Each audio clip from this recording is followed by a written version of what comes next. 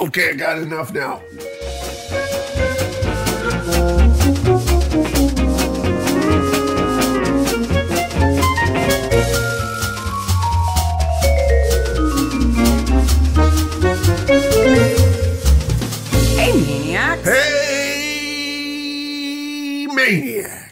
That hay was almost as long as the break that we took. Yeah, exactly. We've been off for two weeks, Long time no talkie. but we still provided content. Oh boy, did we provide you content. Thank you, Annette, so much.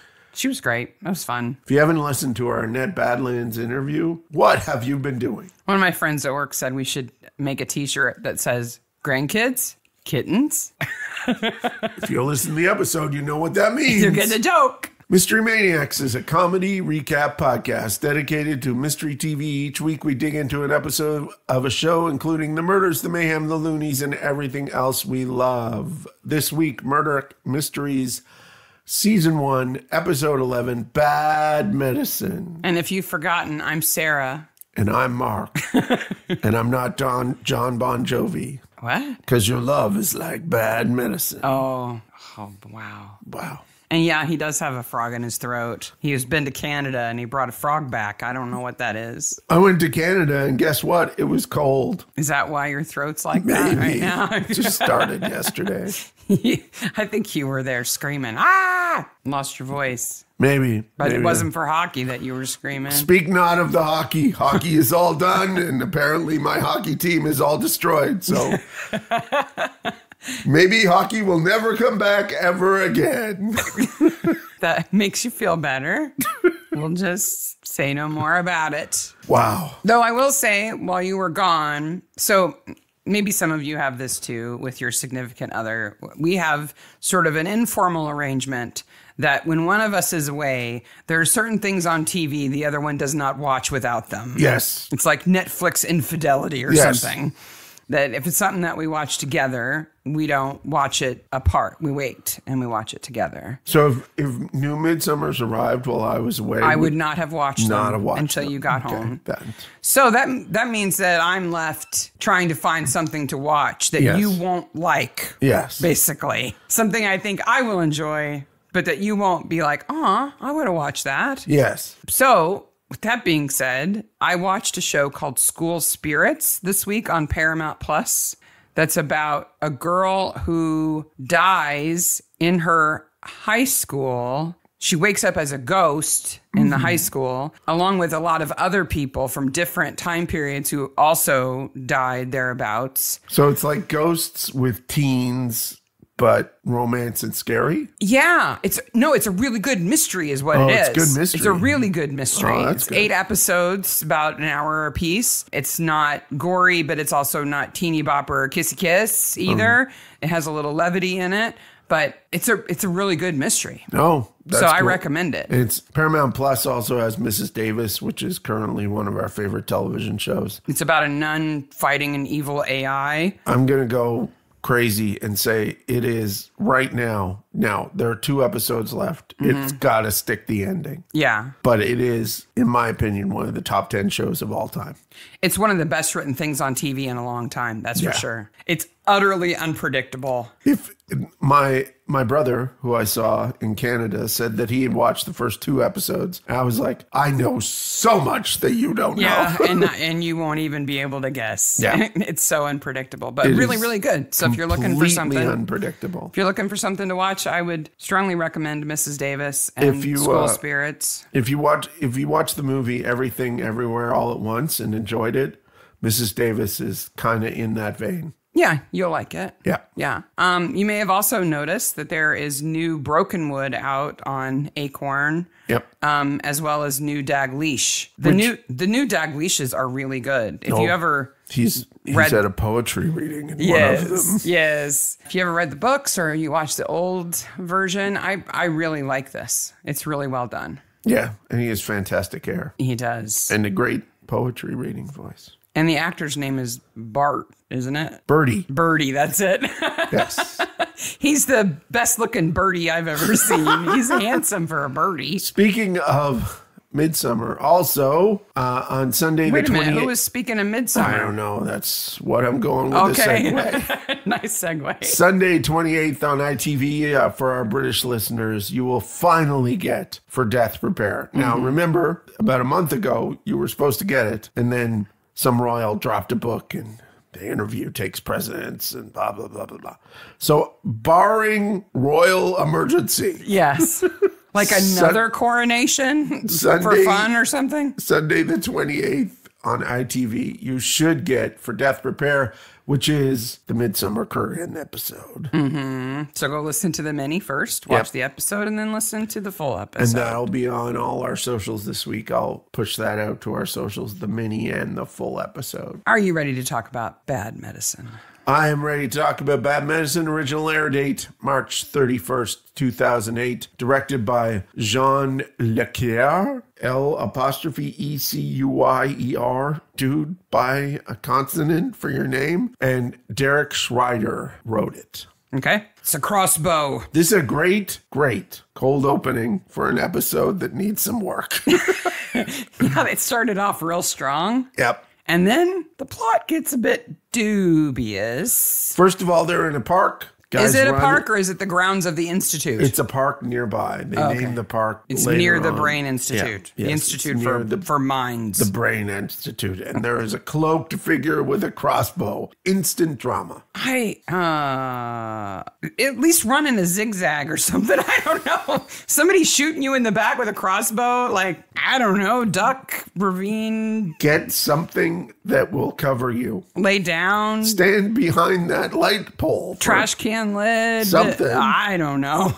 He's running and it's sticking out his back. Yeah, And kind of like, he's got wobbling two around. already. Oh, it just it would hurt so much. Yeah. And he's still yelling, help me, help me. I would assume that he would be screaming, but also maybe his lungs have collapsed. yeah, I would think they'd be close to it. Yeah. So this is Dr. Francis Grout. Yes. Do you know why they're called bolts? No. Um, because originally, this is what is suspected. There, so bolts go in crossbows and arrows go in bows, but that's different now. Now all the crossbows that you can buy all take arrows too. Okay. They're usually shorter and more stout, Right. like bigger around, and these certainly fit that. The crossbow he has, it's a modern cross. It's a it's a crossbow from mid-century. It's not super modern. It's not like one of the fiberglass ones No, they no. use now. No, no. You watch the Olympics and crossbows, they don't even look like crossbows anymore. no. It's like those electric violins that don't look like violins. Yes. They're really techie. So originally crossbows were giant, right? They were siege weaponry. Yeah. You That- had to cock them with your foot, didn't you? Oh, even bigger than that. Like, or, or yeah, crank, like a couple like of people. Huge crank. And they used to shoot basically trees. yeah. Right? But these trees were squared, not round. And that's why they're bolts. And that's why they're called bolts. Interesting, because everything else called a bolt is round, is cylindrical, like a bolt of fabric or nuts and bolts. Yep. Huh. I Now wouldn't want one of those things screaming at me. There's Either- bolts of lightning too. I don't ah. either the bolt from this crossbow or that giant one. You don't think you can dodge a log? No. Come on, they couldn't have moved very fast. There, some of those siege weaponry. Get the really big rubber band. some of those siege weaponry, they must have shot it for the first time and everybody went, Whoa. What the hell was that? Okay, we're gonna need some chucks under the wheels because it moved backwards as far as the bolt moved forward, and Birdie got run over. Yeah. Yeah, so he gets shot a few times, goes down, yells he, help. he goes down in front, like right beside a lamppost. Mm. And then we do scene of the crime next in a pretty nice transition. By the way, bolt cam. We didn't even talk about that. You know how they film that? a camera uh, bolt taped to the camera. Yes. And then they just spin the camera around. Oh, okay. Like they don't actually make the camera go like a long distance. I mean, they just- didn't duct tape a GoPro to it and shoot it out of an actual crossbow. No, they didn't. Why not? That would have been fun. Yeah, and so Grout has painted WY. Well, we'll talk about whether it was Grout or not. With his own blood on a handy dandy rock. How's he get to the blood? That's a good question and one I wondered too. Unless it's dribbling out his face. Maybe. If you've got that many internal injuries, you might be drooling blood a little bit, maybe. but it's really solid. Those letters are I really know. well constructed. Otherwise, he's got to reach around, like when you've got an itch on your back that's kind of hard to reach, and like stick your finger in the wound and like. okay, I got enough now. That's one. But letter. the rock is nowhere near him when he falls. There's a problem here. I don't think he did it. I don't think he did it either, and I think the body's been moved. Yeah, I think the killer. Remember, this is a spoiler podcast. We're going to talk about who did it. Yes, If you haven't watched the episode, stop right now because the killer is Benny, Benny. Richard Benny. Yes. So Richard shoots him several times, then I think moves the body, dips his own finger in Grout's blood, and writes on the rock. I totally agree. And it's definitely one of those cases where, you know, like when you were a kid and you start making a poster or something and you think you've got the letters spaced, but by the time you get to the end of a word, you're like writing small. Yes. Like Wickham was not going to fit on that rock. No. Maybe he should have brought like a quill or something to dip. or maybe like there's an outtake. There's a lot of outtakes in this episode where the killer's running back and forth from like a pile of rocks trying to find a rock. That, Yeah. That one work? Mm-mm. W Y K E. Oh, there's an H. H A.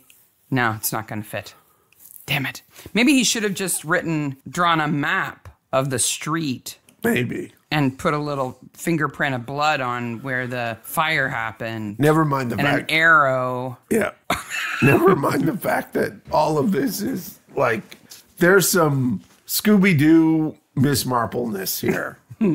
like no killer would do this. Yeah. I was uh, looking at the letters going, could it be an M? It could be an M, not Could a be. W. But Y's upside down don't really make anything.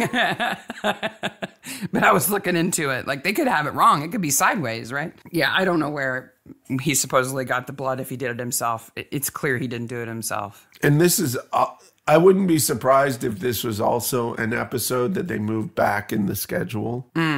Because like Murdoch is like, "Well, George, it's like this." I'm like, "George knows this mm-hmm. already." But then Julia appears and slays. She's like, Hi, I'm Julia. I'm really smart and I'm really funny, but you're never going to laugh at my jokes. Huh. Julia in the first season just slays. She is the funniest character. Yeah, she's really funny.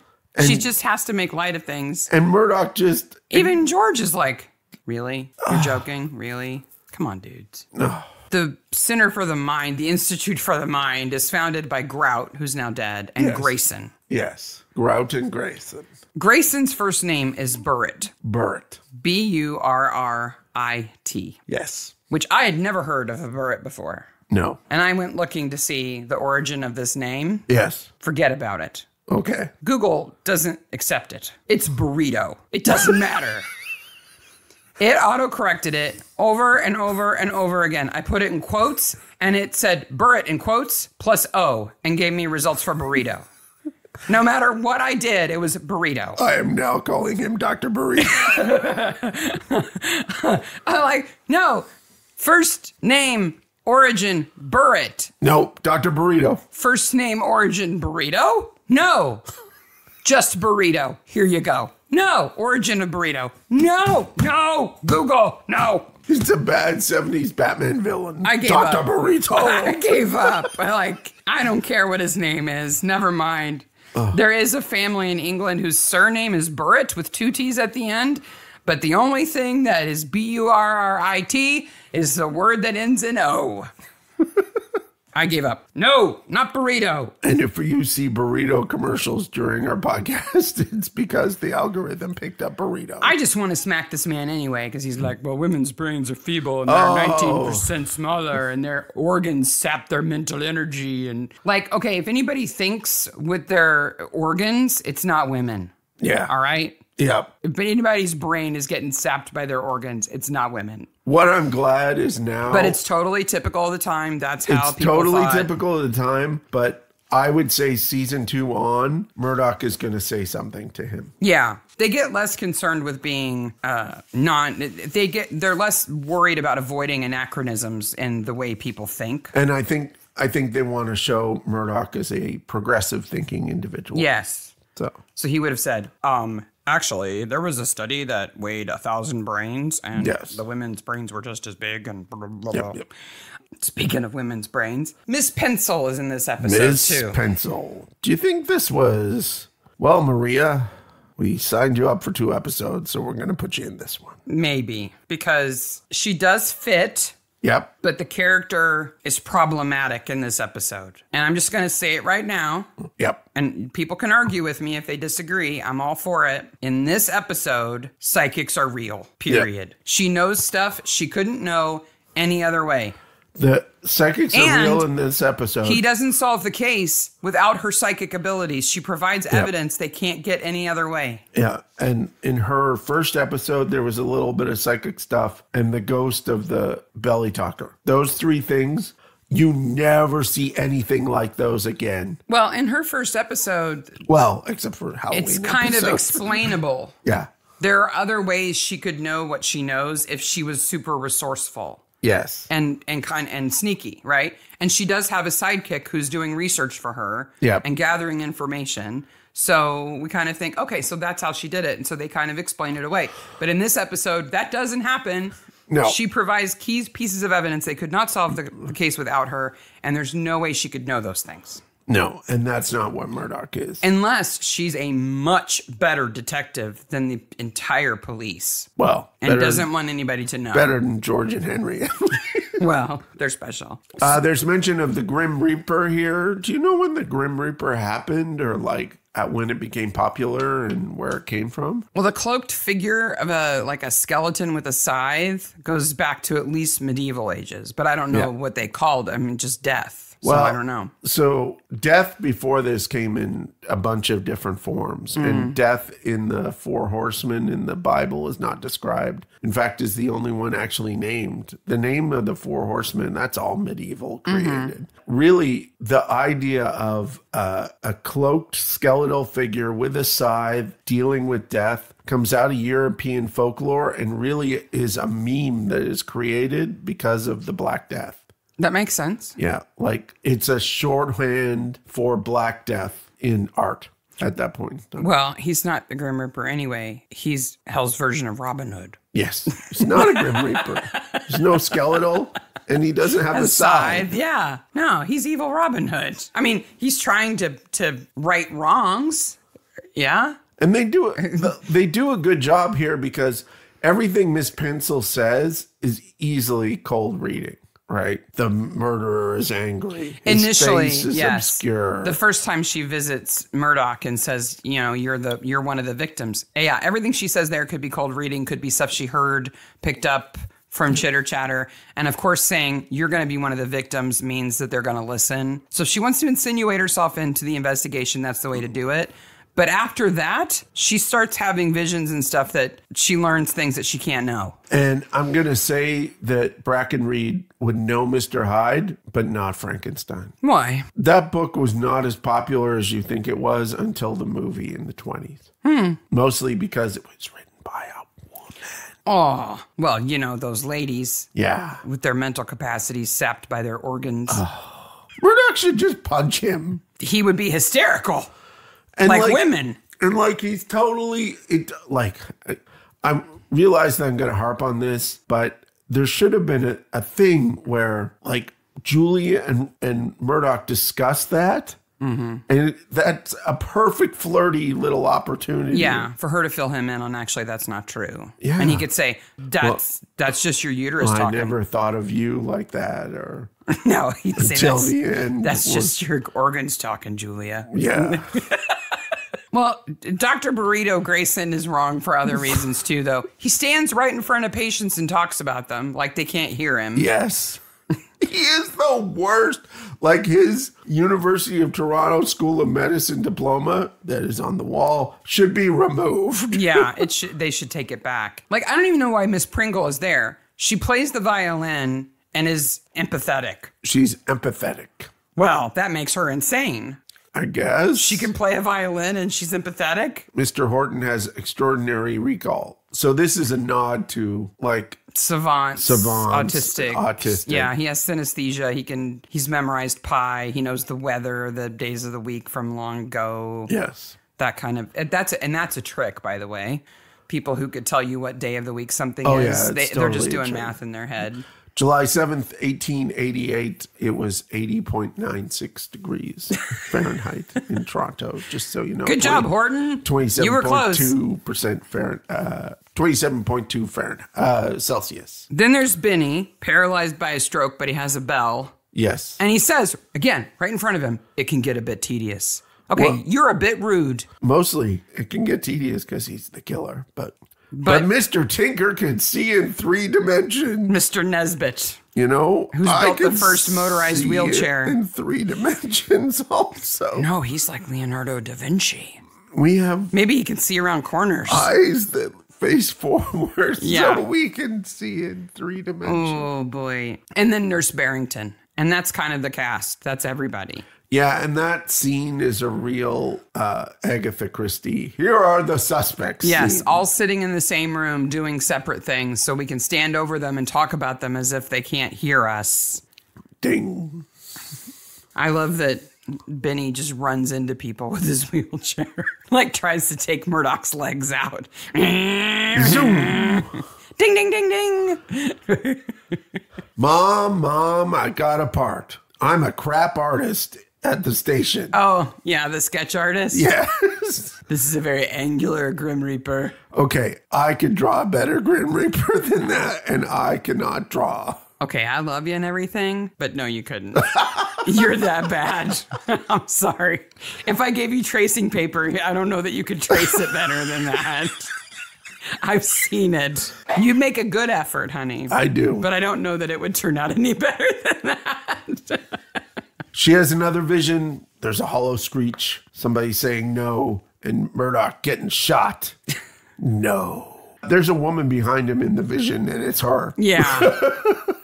All right. She should maybe say that. So let's unpack this a little bit. So we we know that Benny is the killer and that he's not really paralyzed, okay? Yes. So how long has he been at the institute pretending to be paralyzed? It is implied later on two years he's been working on this. Damn.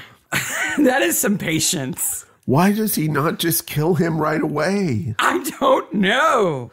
Like And why does think he have to what kill the other doctor first? think about what he's been going through for 2 years. Yeah. All of his bodily functions taken care of by somebody else. Somebody else dressing him, somebody else feeding him. Yep. Probably through a tube to his stomach. If he can't chew because he's paralyzed. Yeah, and Nesbitt may have figured it out. Yeah, because he spent five minutes with him. Yeah. Just imagine if you were pretending to be paralyzed and you had an itch. Oh. It would make you crazy. Did he like dance when he was in his room? We hear strange movement in the hallway. Yeah, it's Benny walking around because he can. Sat in that chair all day. A real detective would just look at the bottom of his shoes. Yes, that is what a real detective would do. So all of the W files are missing from Grout's office. Why? Maybe there's nobody with a W. Yeah, that's true. they couldn't find anybody working there with a W except the one guy who's long gone. So we have to assume, though, that Benny took them. Yes. So Benny wants revenge for his girlfriend who Grayson and Grout performed something like a lobotomy on. She lost her memory, forgot Yep. who he was, then died in a fire, and he wants to avenge her. And though he doesn't. Do you think Dr. Burrito started the fire? no, Okay, I don't believe I said that sentence in English. But I think after two years of pretending to be paralyzed, Benny is sort of losing it a bit more than your average killer. I think he has lost it. so he want he doesn't just want vengeance; he wants it to be known what happened. Yes. he is wants that a typewriter in Benny's room? No, he's paralyzed. he wants them to figure out why this is happening. I think. And that's why he paints the WY on the rock. That's why he steals all the W files. Yes. Now, why would he take the W files when her last name is Chaucer? I do not know. His girlfriend's last name, who's died. I still think no one at the Institute has a W name. It's not that they've been stolen, they were just never any there. there's all these Z's at the end, though, but there's no W's. Mr. Viggins, we cannot help you. No, sorry, we cannot take any patience with the W. What is the paste on the banister? Okay, the paste on the banister Because this is a clue that Murdoch and Crabtree find. is his hair coloring that he puts on his hair to change his hair color because in the picture that he finds later in the newspaper, he has a different hair color. It's darker now. And the people who are taking care of him at the institute and his paralyzed body don't notice that he's putting goop in his hair to change the color. Again, there is some explanation that maybe did not make it into this episode. And he's wearing a robe with a hood and you can't see his hair anyway. yeah.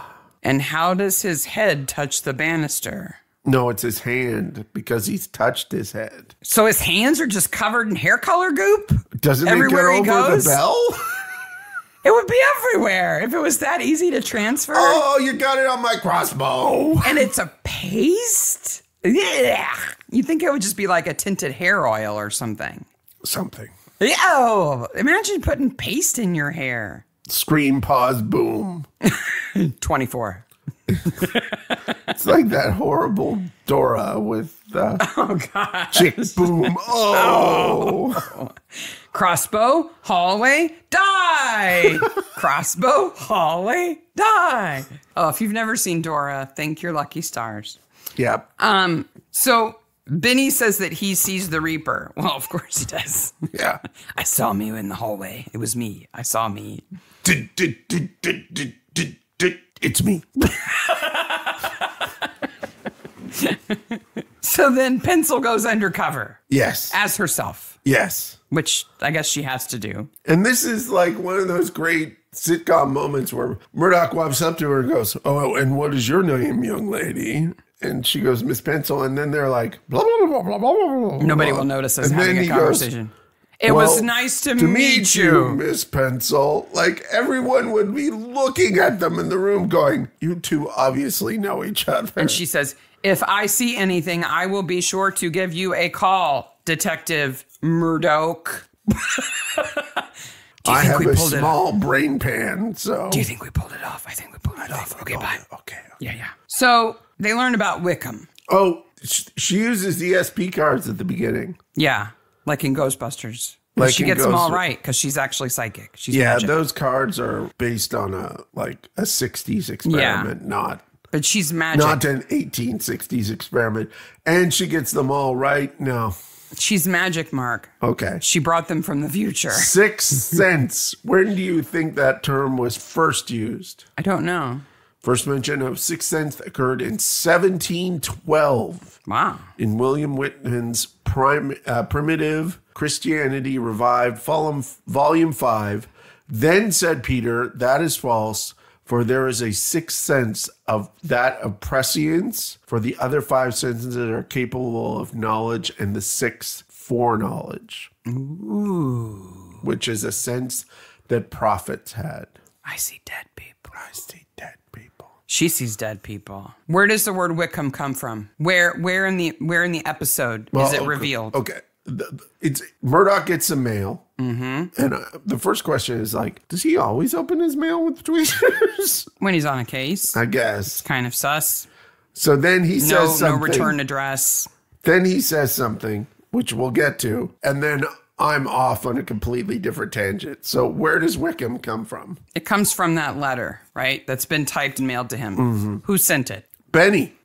Benny must have sent it. Yes. So Benny is giving them clues. Where did he get a typewriter? How did he get it in the post box? How did he like that is a process in which it's noticeable that you are not paralyzed. If it was handwritten, yeah. I could see how he might have pulled it off, right? Because he's sneaking around at night, Throw it in. writes a letter, puts it in with the other post. But typewriters make way too much noise. They do, in fact, make lots of noise. So unless they're like, there's also a ghostly typewriter here. We hear it typing at night. You know, it couldn't be Benny. He's in bed and paralyzed. Yep. Yeah, I, I have a hard time believing that. Yes. What I have a harder time believing is that Murdoch gets the point wrong. The font point, Yes. the size. it would be 12 point, not 8 on a Remington of that time period. Always? Yes. Might they not have had special ones for doctors that were smaller so they could type more? compact? Perhaps. But Remington was well known for doing 12 characters per inch, which is 12 point. Well, aren't you a typewriter nerd? Congratulations. Yes, I am. I also have about a half page of notes that I'm going to skip over now.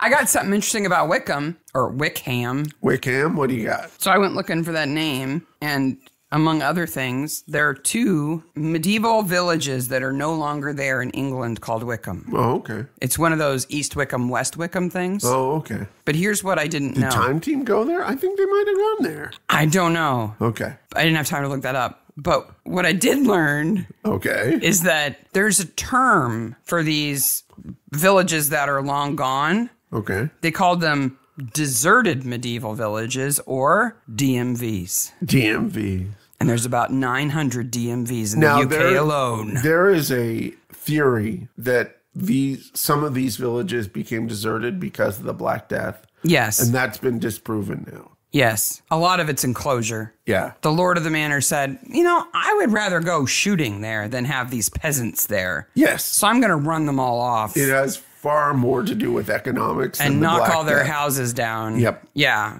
But I just think it's funny that they call them DMV because in the US, DMV is the Department of Motor Vehicles. And you go to the DMV to get a new license plate or get a license, a driver's license or whatever. So the fact that there's 900 DMVs in the UK, and when you get there, it would just be some lumps and bumps under some grass. You're not going to get any business done. Nurse Barrington is not only a nurse, she's a sleight of hand artist. Okay, she's a magician. She okay. Magic is real in this episode, okay. Mark. Okay. She casts a spell and puts a note in Murdoch's pocket without So moving her the idea is that she passes Murdoch. Nerdoch. Nerdoch. Dr. Burrito and Nerdoch. She passes Murdoch a note, but, and I watch this really closely, she never touches him. Benny comes between them, okay, runs over Murdoch's foot. She chastises Benny and then leaves because. When does she put it in his pocket? and then Murdoch takes his notebook out and the note clearly falls from his pocket. How does she get the note in his pocket? Fishing line? I. Invisible thread? Magic? Magic? Nurse magic. You wouldn't understand. Meet me at 8 at Elmar Park. Where you'll find me dead. Yes. wow. There are a lot. There, this is like midsummer, and the, the dead bodies are piling up here. Yeah. This is like, okay, here we go. Here we go. Another dead. And she has a letter on her that why wouldn't the killer have taken it? I guess he didn't know. I guess Benny didn't know she had it. Or he planted it. Benny and the bolts. Because the letter is from Grout Yep. about burying Wickham. Yes. And I don't know. I'm torn on this one. Part of me thinks, Was that in the Wickham file? Oh, no, wait, there wasn't a Wickham. yeah, because they don't have files based on the street that somebody died on. That's not how you alphabetize patient files. That would be the weirdest way. What's your address again? Are you going to die there? Okay, that's what I'll file it under. Be so impossible. Phone books would be real weird.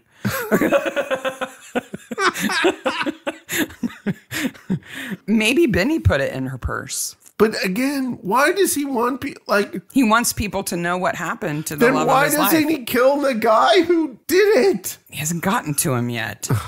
I can't kill Dr. Burrito yet. I don't know why he has to kill the nurse at all. She's about to provide Murdoch with important information about what Grayson and Grout did, and that's to his benefit. I think he's just gone crazy because he can actually walk around in the cloak and he's like, ha ha ha, I'm gonna kill everybody.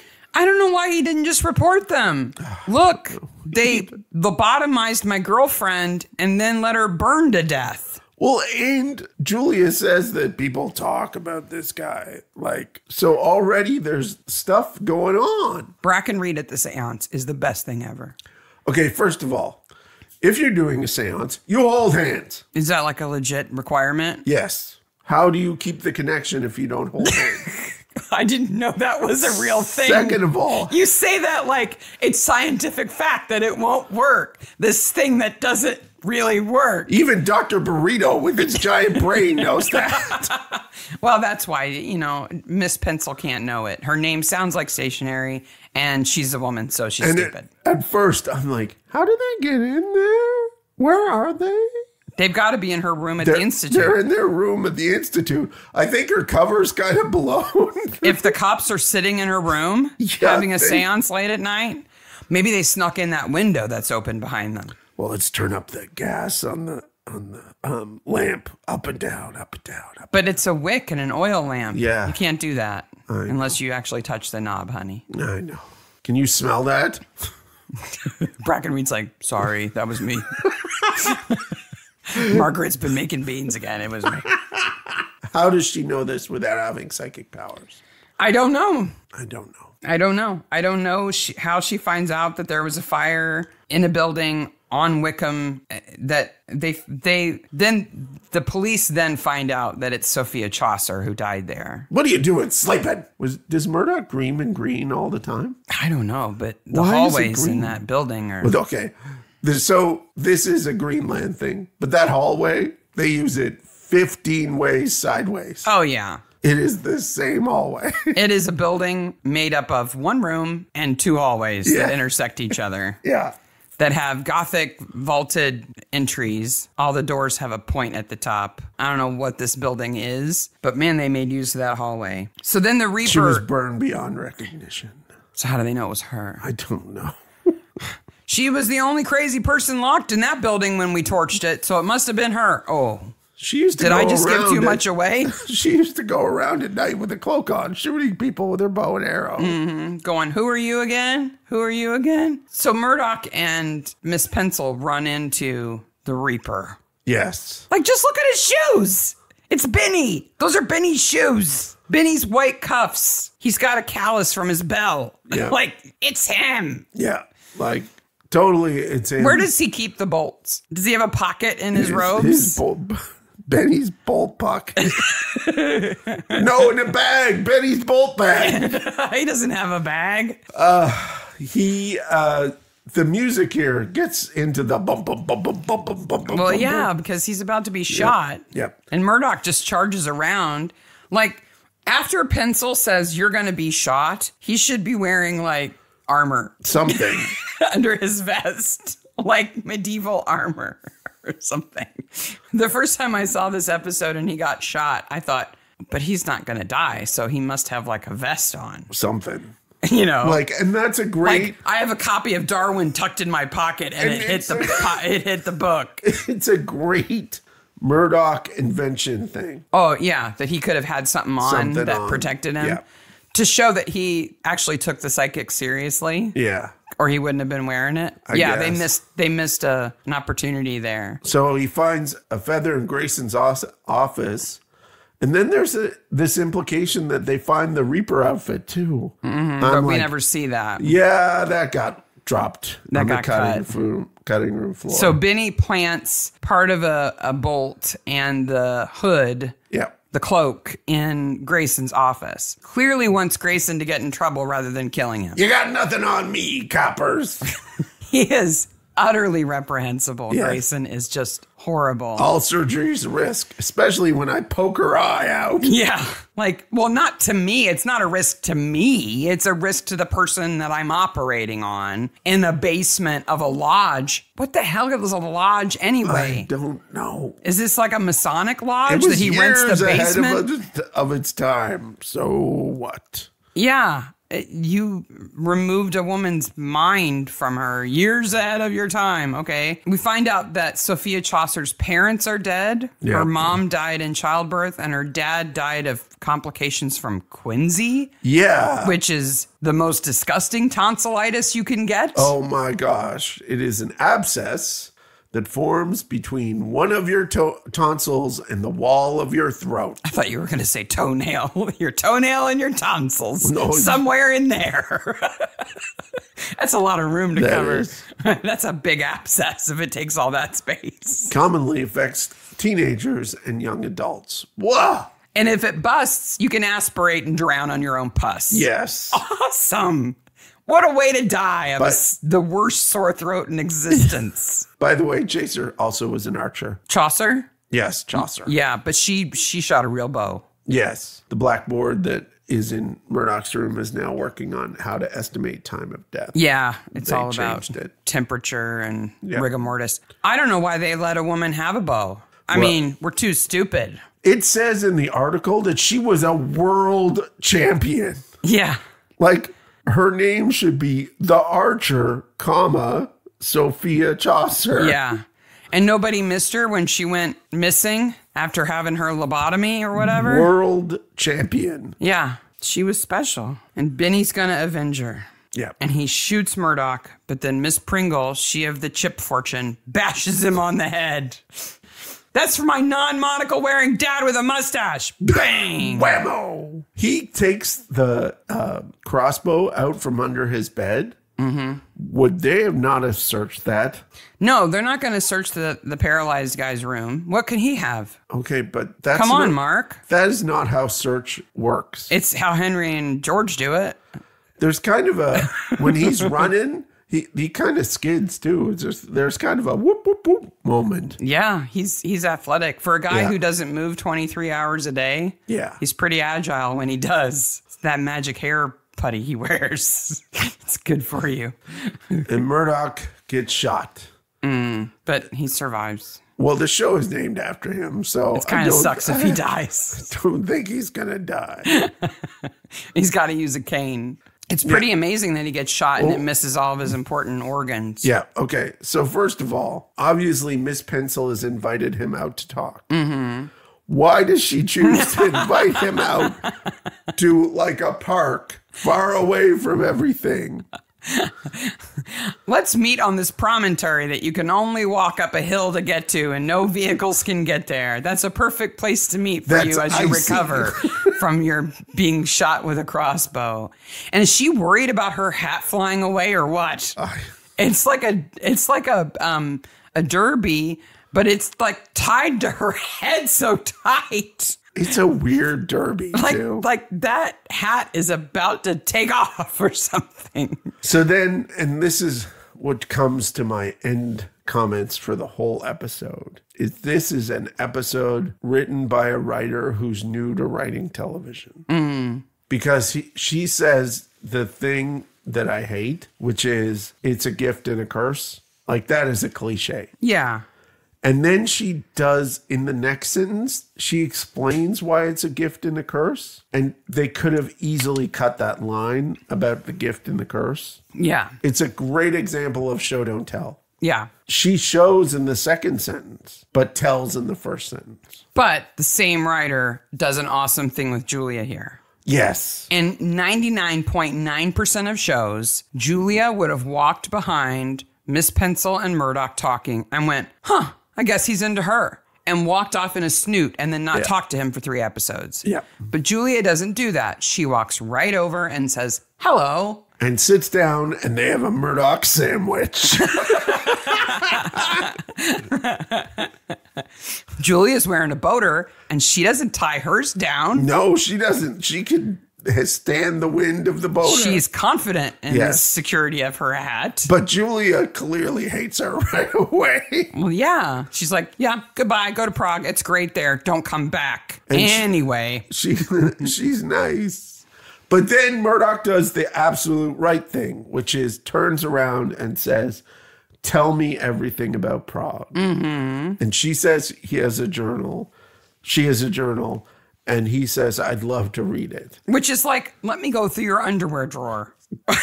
Which I think she implies. Like she's like, William, really? Maybe excerpts. Maybe excerpt. That is a perfect ending. And okay, so Murdoch is not into Miss Pencil. No. Is Miss Pencil? I thought I thought is she into him? I thought there was a whole bunch more Murdoch Miss Pencil. I, Well, she comes back. She does. But I, she's psychic, so she knows the future. And she knows that Murdoch and Julia belong together.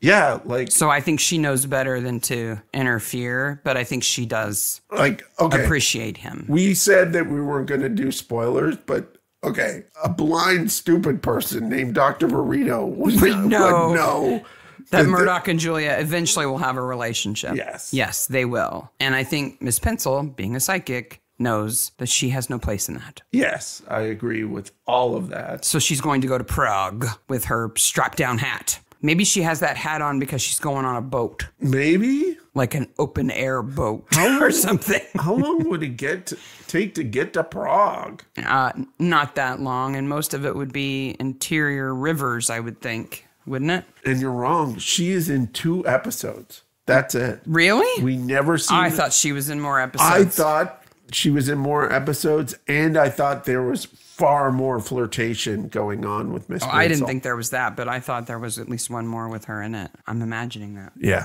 So so did I. So we're left with these questions: Are psychics real in Murdoch? So this In is this episode, yes. so this is my theory. Every show has a Bible. Okay. It it describes all the characters. It's the and rules setting, of the world. the rules of the world. Yes. And I think everyone assumed that that supernatural stuff was off the table. Mm-hmm. And this writer wrote this episode, and they were like, "We need to put a thing in the Bible." Yeah. I think there were probably logical explanations for how she would have known things, but they got cut. yes, That's what I think. I also think that Who sends the letter? We're saying Benny sends the letter. Benny sends the letter. Okay. Did This Benny is a whole Dora episode with Benny. did Benny write the letters on the rock? I'm assuming Benny wrote the I think he had to have. had to have. How long was Benny in institution? We think two years. Yep. Why did he wait so long to strike? Well, I think he had to really investigate Dr. Burrito. I think he was a coward. Ooh, but he's certainly crazy now. And I think he was afraid to take action. And I think Mr. Season 3D, Mr. Nesbitt, was working on his wheelchair and figured out he could move. Yeah, and he so, so. he had to do something. to He's do like, something. okay, now's the time. I think also I'm not going to be able to pull this off much longer. I, we didn't talk about it, but also when Miss Pencil finally figures out that it's him, um, and he's revealed as someone who can talk and move, it is the most expected reveal ever. Oh, yeah. Yeah. Like it's again, it goes back to You're Agatha like, Christie. Whoa, oh, a- really? he can move? It's a character in a in a wheelchair. Oh, Yeah. they I bet you obviously he can, can walk. Yeah. Yeah. All right. Best corpse Grout, Nesbitt, or Barrington? I kind of like Barrington on the park bench dead. Yeah. Yeah. I'm going to go Grout Okay. just because he has to run with arrows in his back. Got, and they can't bounce. Yeah. They can't be like boing, boing, Boinga, boing, boinga, boing, boing, boing. These are just duct taped to my jacket arrows. And he has to, like, he screams and begs and then he gets shot again and has to go face down. Yeah. After the credits. Miss Pencil goes to Prague and is never heard of again. But what about her hat, Mark? Like maybe. Is Grayson going to keep the Institute? Um, I hope so, in that he can turn into an actual scientist and learn some things in the future. Now, the the mental institute is kind of replaced in season two with another mental institute run by a much cooler cat. Mm-hmm. So I think Miss Pringle's going to leave I think so. because she doesn't need to be there. No. And I don't know about Horton. He's He probably going to stay. Yeah. Knowing high society at this point, Grayson is just going to brush this off and say, oh, Benny was just way farther sick than we knew. Knowing what I do, particularly about 19th century asylums, don't even get me started. And I know this is not an asylum, but they are treated so fantastically well. It's because they're rich Yeah. and they're because voluntary. It's rich and voluntary. yeah. You're right. I mean, Miss Pencil just walks in and goes, Can I stay here? And oh. they're like, Well, you've got money, so yeah. Yeah. Rich, white, and You have a nice hat, so you can stay. yeah. And they're white. Feathery hat. Yeah. And you want to hold seances in your room? That's Yeah. cool. It's okay. As long as Brackenreid doesn't fart. Smells like smoke. I have a horrible movie for you. okay. Hit us up with the horrible movie. I am so confident that you have not seen this movie. Okay. I am like supremely confident. Okay. Even though it's from 2020. Oh, Yeah, it's it is a pandemic movie. it is recent. Yeah. And I'm going to say you didn't see it. Okay. Uh, so Stephen Bogaert, who plays Benny the killer, Yes, is in this movie. He's in this movie. Okay, are you ready for this for the description of the movie? Okay, hit me. I have not looked on IMDb at him or anything like that. Okay. When a possessed pair of jeans begins to kill the staff of a trendy whoa, whoa, whoa. Yeah, you heard me. A possessed pair of jeans. Like blue jeans? Yes. Okay. Wait till you see the stills from this movie. It's amazing. When a This possessed is the sisterhood of the murdering pants. Yes, it is. How a pair of jeans draws blood, I don't know. It can only strangle people. I mean, that's all it can do. At right? best. Maybe. When a possessed pair of jeans begins to kill the staff of a trendy clothing store, it's up to Libby, an idealistic young sales clerk, to stop its bloody rampage. How does it be? How is it bloody? I don't know. How? d- Who possesses a pair of pants? I don't the know. Worst demon ever. I'm guessing you haven't seen it, no, so you don't know what it's called. no. Sisterhood of the murdering pants. Do you give up? Yes. It's called Slaxx. S L A X X. wow. Yeah. Oh, I gotta look this movie up, man. Oh man. The stills of the jeans flying through the air at people are just fantastic. And somehow some guy gets absolutely covered in blood. I don't know if it like can the jeans wield weapons or something? I don't know. wow. Yeah, and the pandemic doesn't explain it because it would have been filmed before. Yeah. so, it wasn't like somebody in a fever dream made this movie. Slaxx, S L A X X. Oh, I'm putting this movie poster on in the show notes too because it is also a fantastic movie poster. Mm-hmm. There's a point for me. That is a point for you. Because that is a horrible movie that you have not seen. I have not seen You have not seen Slaxx. You have to pronounce two X's. It looks kind of like a Gap store, too. Yeah, it kind of does. All right. What's next week? So Episode 12. next week, episode 12, The Prince and the Rebel. It's not a bonkers episode like this episode is a bonkers episode, but it is bonkers. It's really a George episode. Oh, I just figured out something amazing. What? It wasn't Benny. Oh, who Benny's was not the killer. Benny's wearing possessed pants That's what makes him walk. that get him up out of the chair and make him kill. There we go. I figured it out. Yes, yes, you did. Solution. So the pr- the Prince and the Rebel is all about uh, Irish uh, independence and the royalty, but really, and it, it's an excuse for the Prince of Wales to come to Toronto and party and, and for Crabtree to have to keep track of him. Crabtree to keep track of it. Keep him out of trouble. So, so then uh, after that, June 5th, we will be releasing episode 13, which is the final episode of season one, The Annoying Red Planet, which is one of our favorite episodes of the. so good. now, we have some also amazing stuff coming down the pipe. Yes. Absolutely super cool. Yes. I'm Top gonna- secret interviews that we're not going to tell you about yet. Gonna end the calendar there, but stay like It- We're not going away. the June newsletter is one to be watching. Yeah, yeah. That's what I'm saying. Bombshells. Yep. So you do an interview with a movie star and other people come calling. Yeah, It's for sure.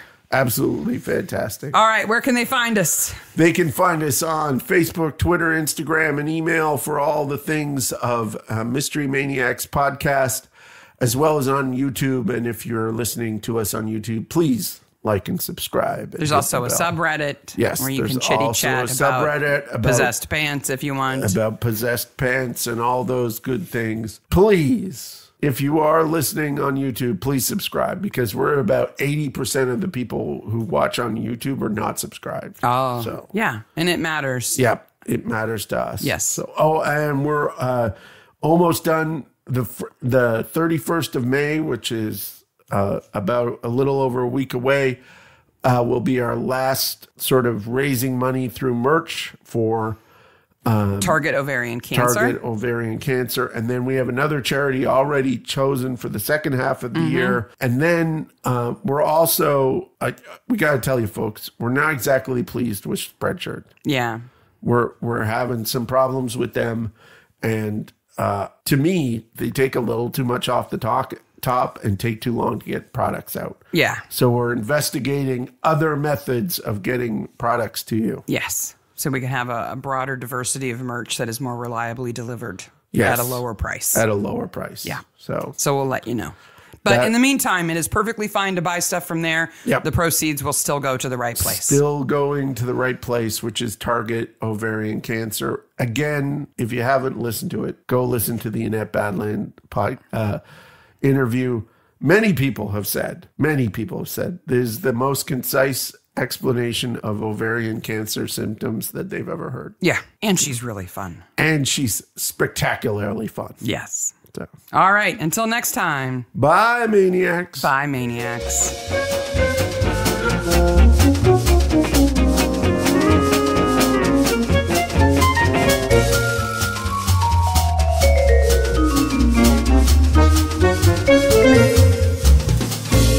Wow, that joke just fell flat.